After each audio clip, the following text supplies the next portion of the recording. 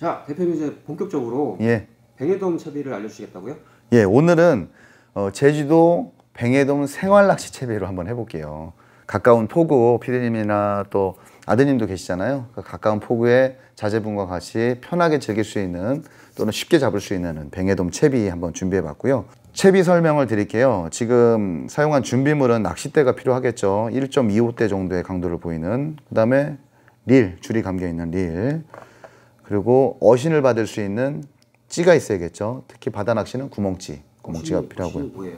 어신은 물고기 신호. 아. 물고기가 이렇게 입질을 하면은 그걸 신호를 받을 수 받아, 받아야 우리가 이렇게 잡을 수 있으니까 신호를 받을 수 있는 뭐 전달 매체라고 보시면 되고요. 이제 흔들흔들 거린다 이거죠? 예, 물고기가 입질을 하면 쑥 들어가기도 하고 뭐 옆으로 끌고 가기도 하거든요. 찌가 필요하겠죠. 그리고 물고기가 입에 걸려야 되는 또 미끼를 낄 수 있는 이런 바늘이 필요하겠고요. 그리고 이거는 조수웃기라고 합니다. 그러니까 조수웃기, 그러니까 어, 조류를 타고 다니면서 이 바늘을 미끼 낀 바늘을 물고기 입까지 이렇게 전달해 주는 매우 중요한 역할을 해요. 아주 작긴 하지만 그래서 조수웃기. 그리고 릴에 감겨져 있는 게 원줄이라고 하거든요. 그냥 외우실 때 아, 원래 줄, 원줄 이렇게 생각하시면 돼요. 그리고 물고기 바늘을 묶는 목줄이라고 합니다. 이 목줄이 필요하신데 그냥 요걸 외우실 적에는 물고기 목을 매버리잖아요. 갑자기 그래서 어, 물고기 목숨을 왔다 갔다 한다 이렇게 재밌게 한번 해보자고요. 그래서 요게 목줄이라고 그렇게 생각하시면 돼서 요게 다 끝입니다. 그 다음에 자를 수 있는 가위인데요. 아, 정말 간단하네요. 아, 생각보다 간단하죠. 네, 정말 간단해요. 특히 뱅에돔 채비는 그리고 원줄과 목줄을 연결할 때는 뱅에돔은 100% 직결을 합니다. 직결이 뭔지 많이 궁금해 하실 거예요. 직결은 줄과 줄을 서로 묶어버리는 거예요. 근데 보통 줄과 그러니까 원줄과 목줄을 중간에 이제 연결하는 매개체가 필요할 텐데 보통은 이렇게 도래를 써요. 도래. 그러니까 회전도 이렇게 돌아가는 도래를 쓰는데 뱅에돔은 굉장히 예민하고 물 위에 뜨는 물고기예요.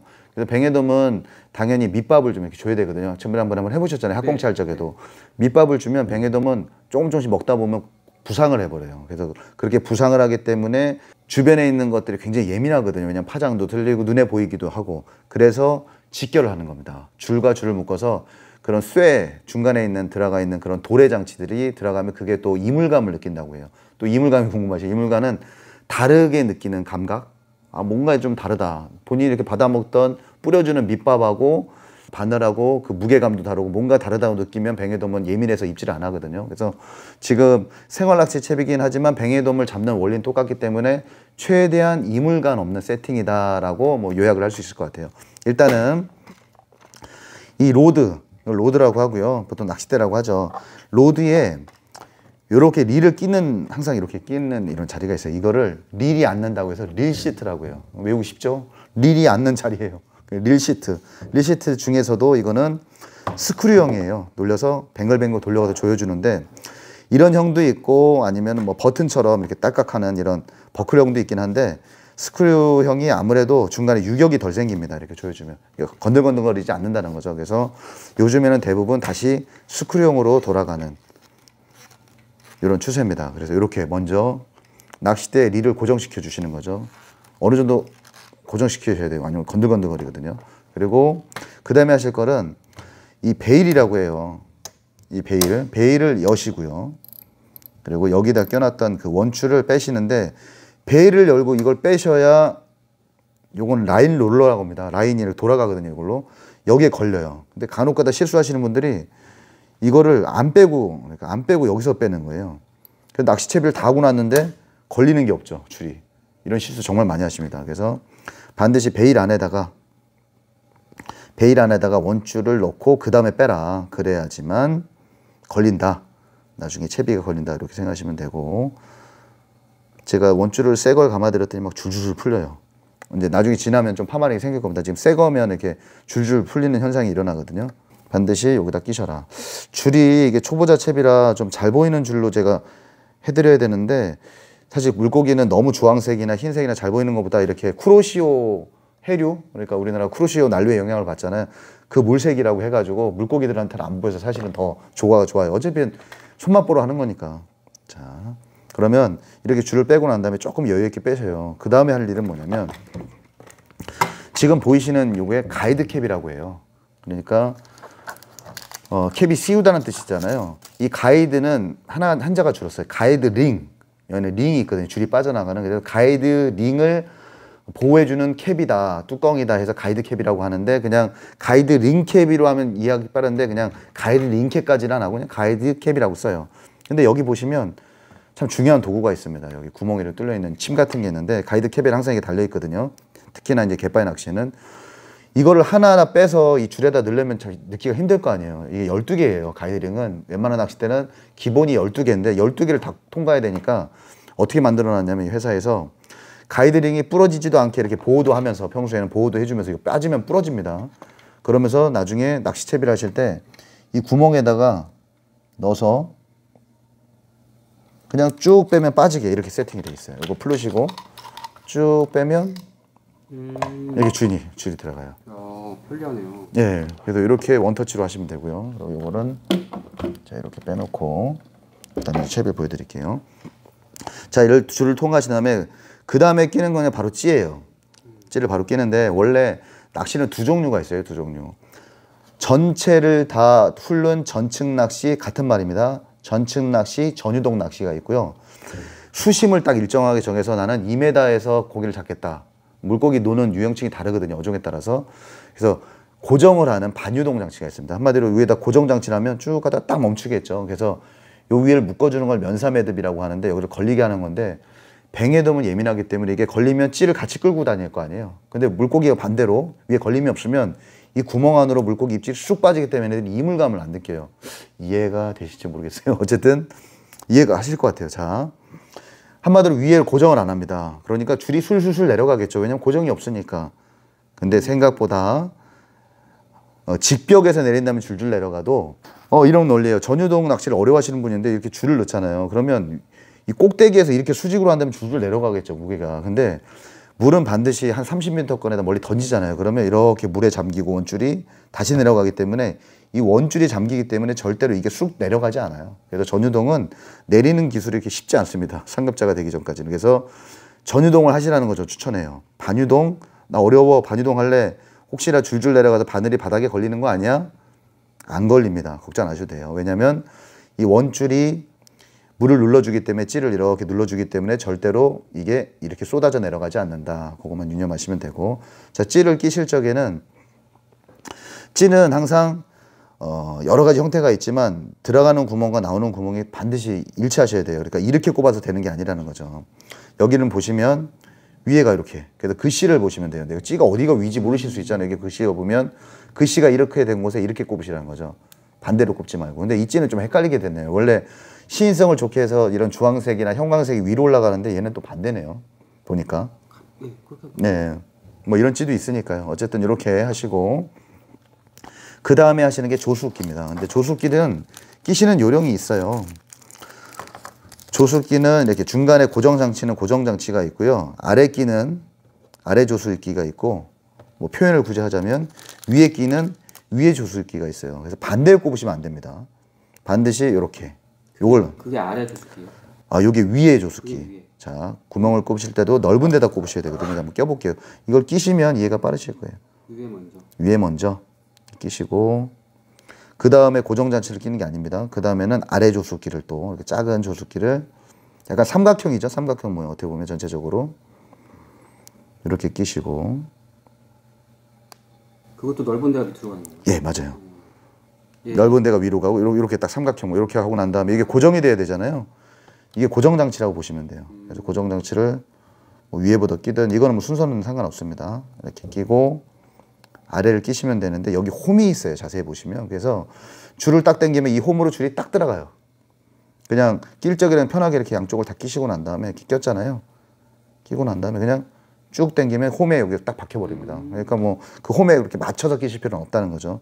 그 다음에는 직결을 해야 되는데 여기 남은 원줄에 목줄, 바늘을 묶을 줄을 직결해야 되는데 뱅에돔은 3m 고기라고 했잖아요. 목줄 길이를 보통 3m를 써요. 그래서 우리가 표현할 적에 사람 한 발. 그러니까 저는 좀 팔이 긴 긴팔 원숭이과거든요. 그러니까 저는 진짜 팔이 길어요. 저는 이렇게 쭉 펴서 이렇게 쭉 피면 1m 50 정도 나와요. 저 같은 경우는. 그래서 두 발 정도 보통 하죠. 이렇게 두 발. 그럼 3m잖아요. 근데 낚싯대가 제가 초보자분이시기 때문에 5m에 세팅을 해드렸어요. 원래는 표준은 5m 30인데 30cm만 줄어도 뭐랄까 조작 능력이 좀 편해요. 그래서 나중에 어, 실력이 늘으시면 5m 30을 좀 하셔도 되고 요즘엔 또 좀 짧게 가는 추세이기 때문에 5m도 어, 그 수영하셔도 좀 무방합니다. 일단은 3m에 끊었고요. 근데 직결을 해야 되니까 여기 또 묶는 또 그게 있잖아요. 그 낭비가 되니까 조금만 더 한 20cm 정도 할게요. 직결의 방법은 여러 가지가 있는데요. 가장 쉬운 거 알려드릴게요. 이거 잘 보이지는 않을 텐데 원줄과 목줄을 이렇게 직접 연결하는 줄과 중계 연결하는 직결법이 여러 종류가 있는데 딱 두 가지만 하시면 돼요. 팔자 직결법하고 전차 매듭만 하시면 됩니다. 초보자는 어, 팔자가 편하실 거예요. 자, 양쪽 줄을 이렇게 잡고요. 가운데를 이렇게 만들어요. 고리를 이렇게 이렇게 만들었죠. 굉장히 편해. 손가락을 넣어요. 두 손가락. 하나, 둘, 세 번만 감싸주고요. 이 가운데 줄이 있죠. 요거 두개 나왔던 줄을 잡아요. 그리고 그 구멍에다가 쭉 빼요. 그냥 이렇게. 쭉 빼요. 뺐죠? 직접 해봐야 될 것 같은데. 네. 자, 왜 팔자면요? 이런 팔자예요. 팔자 그려지잖아요, 팔자. 그래서 요거를 그냥 당겨줘요. 이렇게. 팔자죠, 아직도? 대신 마지막에 갔을 적에는 침을 한번 더럽지만 묻혀줘야 돼요. 왜냐면 이 마찰열 때문에 이렇게 당기면 거기 쪼여지면서 거기가 이게 결점이 생기는 거죠. 뚝 끊어져요. 그래서 이거를 전문 용어는 결절 강도라고 해요. 묶이는데 강도가 약해지는데 이 결절 강도가 중요하기 때문에 결절 강도를 높여주기 위해서는 이렇게 해주고 끝에 좀 왔을 때는 이 줄이 네 가닥이 됐잖아요. 타이어 우리 조일 적에 조일 적에 이렇게 순서대로 안 조이잖아요. 한쪽이 뜨니까 그래서 이쪽 조이고 이쪽 조이고 이렇게 엇갈려 하잖아요. 이거 똑같아요. 재밌죠? 여기 졸리고 반대편 당겨주고 이렇게 이렇게 하시고 제일 마지막에는요 반드시 꽉 조이면 안 된다는 얘기예요. 우리가 꽉 조여가는 게 끝에까지 다 몰아놓고 마지막에 최대 마찰이 안 생기게 침도 묻혀주고 그러고 마지막에 확정이라니까 지그시 이렇게 하면 예, 이렇게 하면 딱 끝났습니다. 그러면 남은 줄이 두 줄이 이렇게 남으실 거예요. 그럼 남은 줄을 그냥 어느 정도 끊느냐 한 1, 1cm 정도? 아이고 남은 줄을 어느 정도 끊느냐 1cm 정도 딱 끊어주면 되고요. 그러면 여기 있는 직결 부위와 직결 부위와 조수께의 간격이 얼마나 하느냐 궁금하실 거예요. 이거는 15cm 정도가 가장 적답해요. 이렇게 요 정도가. 요게 가장 자연스럽게 줄 연출이 되더라고요. 근데 지금 줄이 이 줄도 굉장히 얇고요. 1.75 정도 되고 목줄도 굉장히 얇기 때문에 지금 보시면 이렇게 자연스럽죠. 근데 여기다가 도래를 달잖아요. 그럼 여기서 파장이 발생을 해요. 파장도 발생하고 꺾임이 발생하고 그러니까 내가 뭐라고 그랬죠?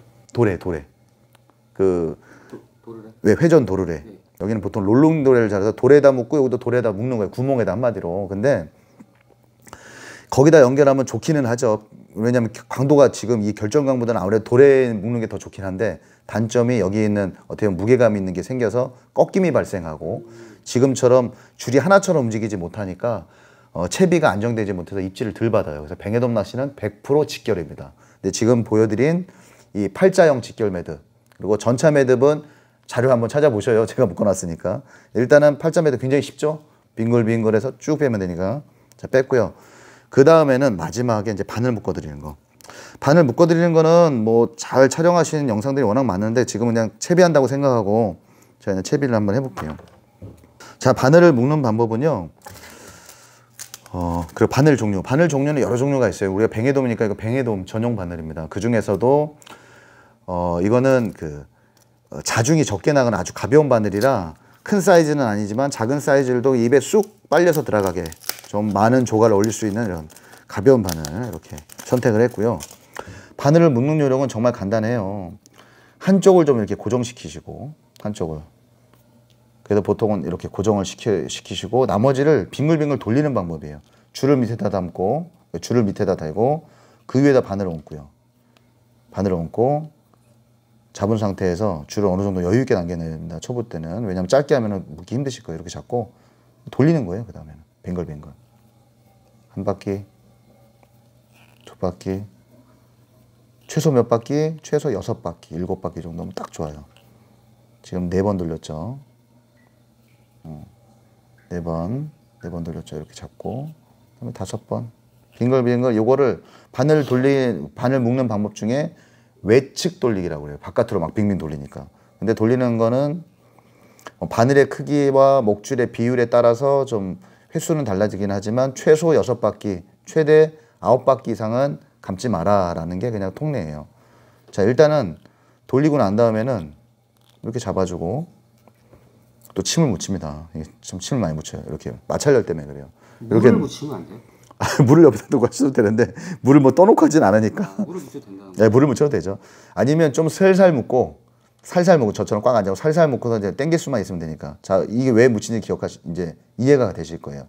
요렇게 구멍에다가 바늘 뺀 다음에 얘를 이렇게 당기거든요. 이렇게 양쪽을 이렇게 이렇게 당기면 줄이 이렇게 묶어지죠. 살짝. 근데 반드시 바늘이 여기 귀라고 해요. 끝부분을 귀라고 하는데 위쪽으로 묶으셔야 돼요. 무슨 말이냐면 이 뒤쪽으로 묶으면 여기가 날카로워도 뚝 끊어져요. 그래서 위로 묶은 다음에 어느 정도 이렇게 끝에다 몰아놓고 위만 쫙 당기면 단단하게 조여져요 이렇게. 근데 주의할 거는 여기서 만지작거리거나 잘못하면 이 밑에 줄이 이렇게 꼬여요. 그럼 뱅에도 안, 무, 안 뭅니다. 여기가 이렇게 꾸불꾸불하면 지금 제가 묶은 것처럼 그리고 나- 이 남는 부분은 한 5mm 정도 자르시면 되고요. 어쨌든 이렇게 해서 이렇게 부, 고기가 멍청한 줄 알았는데 되게 어, 똑똑해. 안 그래요. 이렇게 묶으셔야 됩니다. 그리고 뱅에돔은 아무래도 얇은 줄을 쓰면 의심을 덜해서 더 자주 입질을 하기 때문에 좀 번거롭더라도 가벼운 줄과 작은 바늘을 쓰셔야 됩니다. 지금은 지금 6호 바늘이면 작은 바늘은 아니에요. 저는 5호 바늘로도 다 대물을 잡아요. 40cm도. 큰 대물일수록 더 예민하거든요. 그럼 하고 난 다음에 생활 낚시기 때문에 원래는 이거는 뭐 우리 낚시꾼들은 다 낚싯대 끊고 접고 하는데 처음에는 이거 다시 묶고 하는 것도 번거롭잖아요. 네. 그래서 그냥 초보자 분이시니까 쉽게 세팅하는 거. 끝에다가 이렇게 당기신 다음에 가이드 캡을 이게 드랙이라고 하는데 낚시 릴 그 구성용품 중에 드래그 드랙의 성능은 이렇게 하면 풀리고 시계 방향으로 하면 이렇게 잠겨요. 잘 안 풀려요. 아, 근데 이걸 왜 조절하냐?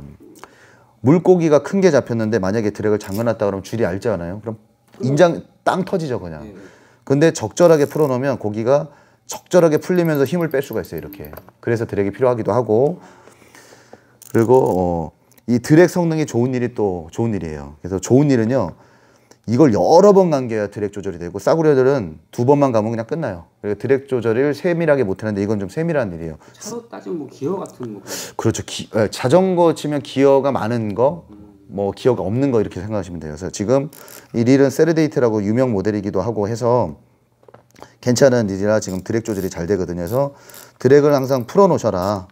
왜 풀어놓냐? 채비를 지금 정렬을 해놓을 건데 집에를 이렇게 항상 이동을 할 때 낚싯대를 옮기거나 보관할 적에는 지금처럼 채비를 해놓지는 않지만 초보자분은 한동안 채비하기 어려우니까 집에서 하고 나간다고 가정을 했을 때 드랙을 풀어 놓으셔야지만 나중에 이런 데가 이렇게 걸려서 이렇게 휘면 뚝 부러져요. 이렇게 하면 드랙이 잡아주는데 만약에 이걸 꽉 해놓으면 뚝 부러지기 때문에 반드시 드랙은 좀 하지만 낚시 시작할 때 잠그셔야 됩니다. 드랙 어느 정도 잠그냐? 뭐 사이즈마다 다르겠지만 그 대상 어종 어, 내가 나오는 그 내가 가려, 가려는 포인트의 물고기의 크기를 좀 감안하겠지만 그래도 어느 정도 하면 우리 이 정도 좀 세게 당기면 풀리는 정도만 하시면 돼요. 너무 느슨하게 해도 안 됩니다. 그래서 어쨌든 지금은 풀어놔야 되고요. 그런데 guide cap을 여기서 활용하실 수가 있는데 네, 가이드 캡을 이 줄을 낀 상태에서 이렇게 끼시고요. 쭉 끼시고 끼시고 난 다음에 요건 이제 요령이에요. 많지 않시다가 이렇게 하고 나서 요거를 이렇게 체결을 하시고 얘를 이렇게 쭉 빼서 가이드에다 이렇게 걸고 빼고 걸고 이렇게 해서 제가 요 고무링 하나 달아놨잖아요. 이거 쭉 빼서 고무링에다 이렇게 걸어놓으면 저 바늘만 조심하시면 이렇게 들고 다니면 되죠. 그래서 하시면 이거 계속 쓸 수 있는 거예요?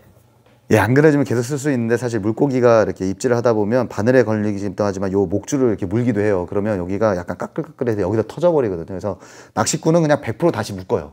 금방금방 하니까. 근데 처음에는 이게 불편하시기도 하니까 이렇게 또는 집에서 좀 안정적인 공간에 이렇게 딱 세팅해 놔서 들고 가서 잘 펴서 낚시하다가 낚시는 막 바람 불고 뭐 잘 보이지도 않고 막 이러니까 현장에서 묶는 게 처음에는 초보 때는 쉽지 않으시니까 집에서 이렇게 세팅하고 다니시다가 끊으면 어쩔 수 없이 하는 거죠. 근데 안 끊어지면 집에 와서 판판하게 잘 이렇게 묶었다가 한동안 이렇게 세팅해서 다니시면 될 것 같아요.